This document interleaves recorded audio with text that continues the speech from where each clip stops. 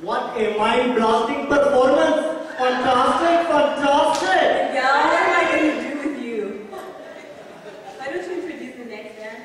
Alright then, let me read the Japanese description. Arigata kostama pakayo. Lydia, they were supposed to give me the description in English. How am I supposed to tell them what the, what the next dance is about? Worry, I got this. Soranbushi originates from Japan's northmost island, Hokkaido. It's a fisherman's dance, evoking the process of catching fish, setting the boat out to sea, casting and retrieving the nest, folding sails, and loading the catch. Please welcome on stage the Japanese fisherman dance.